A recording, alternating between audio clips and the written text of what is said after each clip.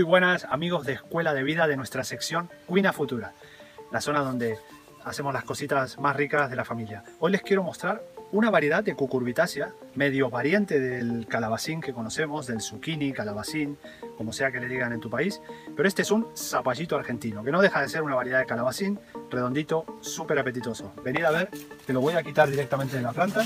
¿Dónde está? ¿Dónde estás? Mírenlo. Aquí lo tenemos. Lo vamos a sacar. Es simplemente darle una vueltita y cuando está maduro sale así de fácil. Vamos a mostrarles una receta guapísima para hacer con, este, con esta variedad de calabacín, nuestro zapallito argentino, y queda súper, súper exquisita. Vamos a poner aquí en nuestro canastito de todo lo que hemos recogido hoy del huerto y qué más decirles, nos vamos para la cocina, venga.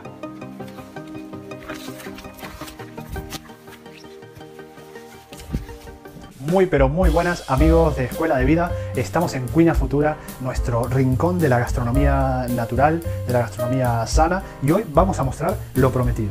Una muy buena receta que viene de mi tierra, de Argentina, donde vamos a utilizar los famosos zapallitos verdes, los calabacines redondos, para hacer, en el caso de hoy, una receta vegetariana, vegetariana, vegetariana. ¿sí? Pero también se puede hacer con carne. Entonces, sin más dilación, vamos a comenzar. Los ingredientes muy importante eh, para tener una receta, establecer un poco los ingredientes. Pues los ingredientes es todas las verduritas que tengan en la nevera.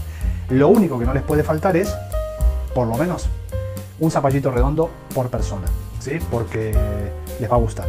Entonces, comenzamos con la receta.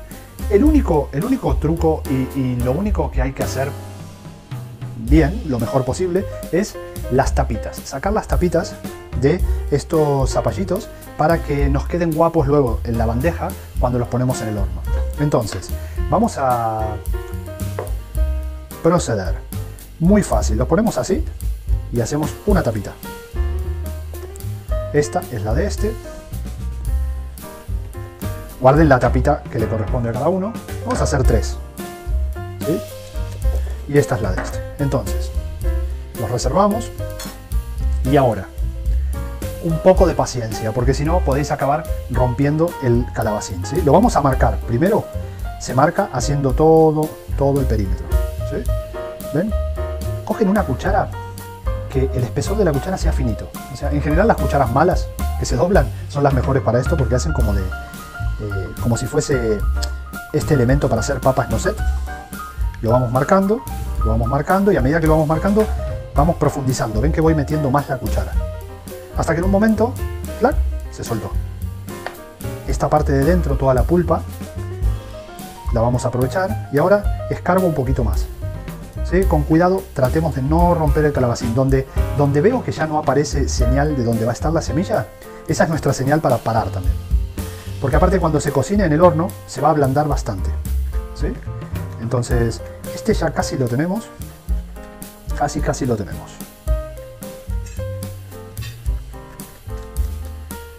Eso mismo.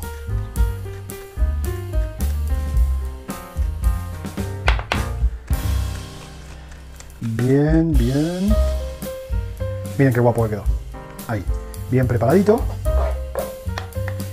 Y ahora, este es el primer paso. Y ahora hacemos lo mismo. Ya le pongo su tapita para no confundirlas, no, no mezclarlas.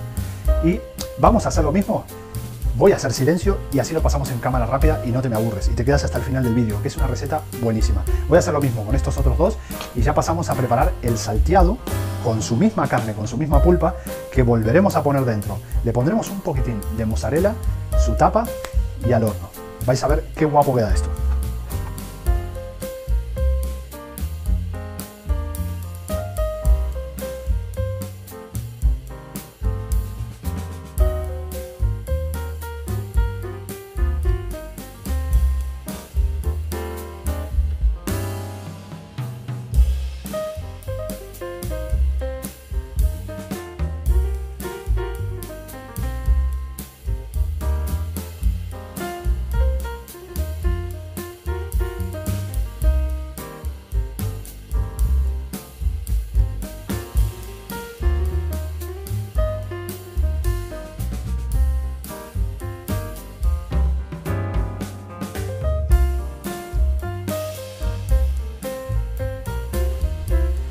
Muy bien, ya los tenemos. Ahora, receta súper, súper fácil, ¿sí? Nada de complicarse.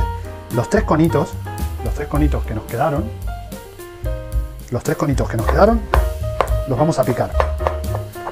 ¿Sí? Los picamos y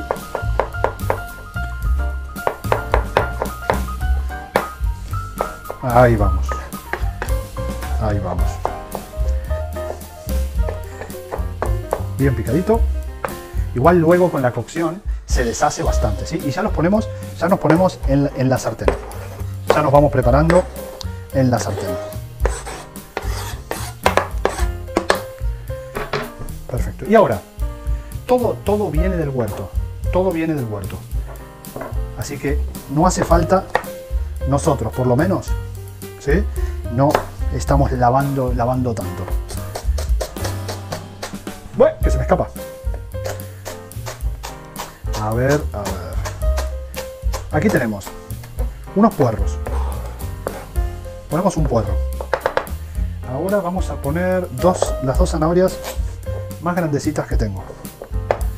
A mí me gusta porque van a quedar mejor cortar a la mitad y luego de nuevo a la mitad. ¿Sí?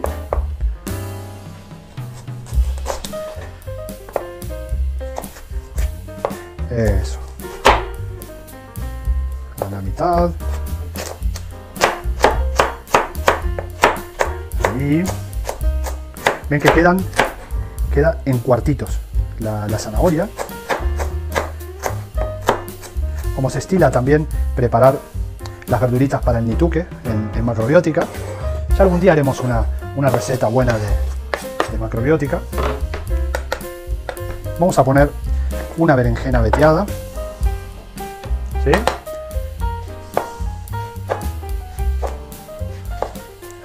Esta me gusta separar las tapitas y la preparo en cuadraditos, en cubitos. ¿Sí? Lo ponemos así.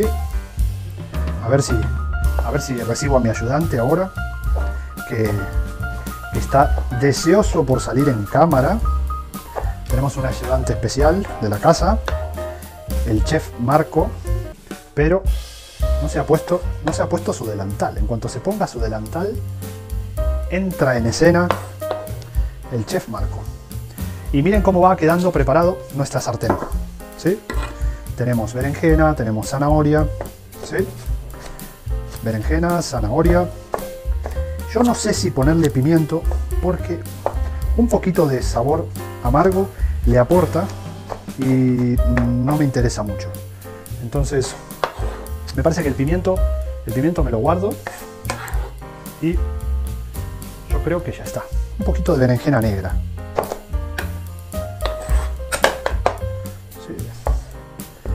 Ponerle un poquito de berenjena negra. Y ahora lo que quiero recomendarles muchísimo son los condimentos. Y ahora me parece que entra el chef y me ayuda a condimentar. ¿Qué le parece? ¿Sí? ¿Te animas a entrar? ¿Sí? Venga. Venga, venga que yo le ato el delantal y empezamos a trabajar aquí. Adelante. Les presento a Marco, nuestro ayudante. A ver, atamos el delantal. Ahí. Ahí. Un nudito suave. Perfecto, maestro. A ver. Entonces, Marco, vamos a poner dos cucharaditas de semillitas de sésamo. Mm, un poquito más, un poquito más. Sea generoso, maestro. Sí, una. Otra más. Sí, perfecto. Otra más por ahí. Y otra más. Así, mira. Y otra más. Eso, perfecto. Perfecto. Ahora le va a poner unas semillitas de calabaza. Venga, un buen puñadito. Sí, de semillitas de calabaza. Eso. Ahora un poco de uno de mis condimentos preferidos. Comino. Comino, comino en polvo, ¿no? Que nos gusta mucho el comino. ¿Sí? Entonces vamos a poner comino. Y otro de mis preferidos. Toma, que luego le pondrás la sal. Y otro de mis preferidos y que se los recomiendo muchísimo es la alolva o fenogreco. Vamos a poner un buen puñado de fenogreco. Ahí está. Puede poner sal, maestro. Ah, espera, que está cerrado. Pero, qué descuido. Ahora sí. puede poner sal, es el, medio. Muy bien. Un poquito más, un poquito más. Eso, ahí estamos bien. Y ahora vamos a usar un chorrito de aceite, pero vamos a agregar agua. No quiero que el aceite se me queme, ni se sobrecaliente, ni nada por el estilo. ¿sí? Es un chorrito de aceite para aportar materia grasa vegetal. Eso, muy bien. Y ahora yo creo que ya nos vamos al fuego. Vamos a reservar estos calabacines. Permiso Marco. Vamos a poner esto en el fuego. Que empiece a tomar temperatura. Y ahora todo el truco es hacer un buen salteado con paciencia que se vaya haciendo. Vamos a agregar un poquito de agua. Si el agua está caliente, mejor. Movemos un poquitín. Tapamos. Y ahora vamos a ir preparando la bandeja para ya recibir nuestro relleno. Caballero, vamos a dejar las tapitas sin poner porque los vamos a rellenar.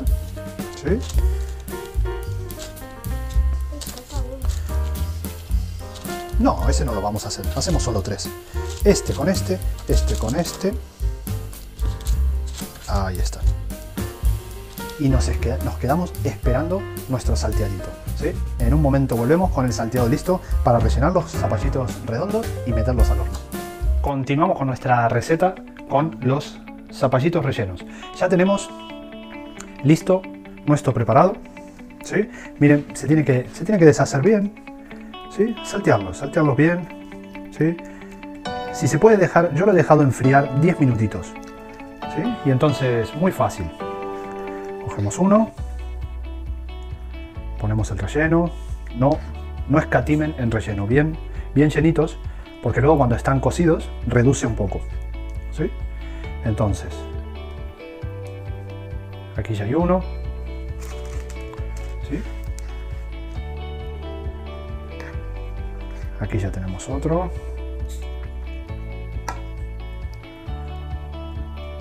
Mm, se huelen todas las especias porque aparte es importante, no lo he dicho, pero que la cocción, que, el salteado sea a fuego mínimo.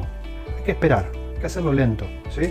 No, no metan el fuego eh, a todo vapor para, hacerlo rápido. Hay que cocinar con tiempo, hay que transmitirle buena energía a la comida, ¿sí? que es para la familia. Entonces, siempre buena energía. Si tenemos la cabeza tomada con historias, problemas, no cocinemos mejor. Le pedimos a la jefa que cocine o esperamos un ratito, respiramos y nos tranquilizamos y luego cocinar, porque se transmite mucho la energía a la comida. Entonces, aquí los tenemos rellenos y lo que a mí me gusta hacer ¿sí? es con un poquito de albahaca del huerto, tenemos albahaca, nos hemos entusiasmado, hemos, hemos hecho los planteles y tenemos un campo de albahaca, no sabemos qué hacer con la albahaca.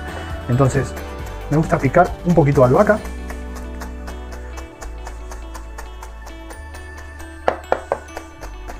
Bien picadita. ¿Sí? Los dedos cuando picamos y usamos estos cuchillos que son potentes. Siempre le digo a mi hijo los dedos como una gañita, así. No, no, que no asomen los dedos. ¿sí? Entonces, la albahaca picadita y ahora un poquito de mozzarella. ¿Sí? Otro poquito de mozzarella. Este más grande, le vamos a poner un poquito más. Usted venga para acá.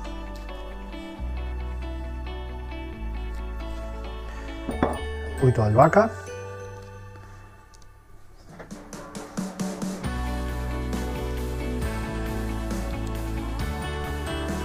Y ahora nuestro gran amigo el aceite de oliva. Nada, muy, muy poquita cosa, ¿sí? Unas semillitas de sésamo. Ya tienen la preparación, así que no pasarse, no hace falta tanta semillita de sésamo. 2, 3. 1, 2, 3. 1, 2, 3. Y ahora, sombrerito, puesto así, que quede en plan guapo. Otro sombrerito. Y otro sombrerito. Y ahora nos vamos al horno. Esto ya está, no tiene mucho, mucho más tema. Una cosa interesante que nos va a servir para el emplatado y que le da una visión y aparte un sabor impresionante. Voy a coger unos tomates del huerto, ¿sí? Por ejemplo este. Miren qué guapo. Lo ponemos ahí, entero. Uno de estos, que es distinto. Otro. Y otro más. Y unos cherry peritas. ¿Sí? Así como estamos, nos vamos al horno. ¿Y cuánto tiempo al horno? Esto es como bizcocho o bizcochuelo, ¿no? Cuando toco apenitas, no hagan un tajo, sí, pero cuando toco y el calabacín ya está bien, bien tierno, hay que apagar el horno y dejarlo ahí, que se enfríe junto con el horno y lo servimos. Vamos, voy a abrir primero el horno, que ya lo tenemos precalentado, más o menos a 200 grados y nos vamos para el horno. Fuego abajo y fuego arriba, y vamos a darle por lo menos 30 minutos. Última parte de nuestra fantástica receta con estos zapallitos argentinos. Han quedado, la verdad, que guapísimos. Y no, no queda mucho. Ahora, un poquito de creatividad para emplatar y acompañar el esfuerzo de haber hecho esta, esta receta. Levantarlos con cuidado porque ahora están blanditos. Se tienen que enfriar bien, bien, bien Vamos a poner un tomate por aquí, otro tomatito por acá, estos tomates asados.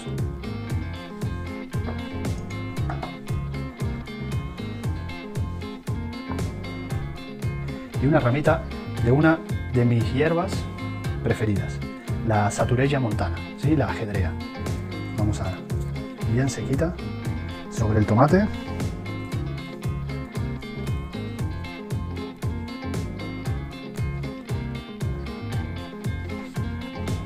Un toque de aceite de oliva y a mí me gusta agregar así un puff de pimentón de la vera dulce, ¿sí? no picante. Poca cosa. Y no, no hay mucho más. Tenemos calabacines, zapallitos redondos argentinos y esta receta completamente vegetariana no es vegana porque tiene ese toquecito de, mozzarella, pero un plato más que interesante eh, para verano, hecho con todas cosas de la huerta, excepto este toquecito de mozzarella. Pero, ¿qué más decir? Lo tenéis que probar. Se consigue, por lo menos aquí en, Barcelona y en las afueras de Barcelona, se consigue bastante fácil. Y si estáis interesados en obtener la semilla de esta maravilla, contactarnos por privado. Gracias por ver este vídeo hasta el final, gracias por compartir, por apoyar, eh, apoyar nuestro proyecto y si ponéis un me gusta y se lo compartís a alguien, súper agradecidos. Gracias y hasta la próxima receta.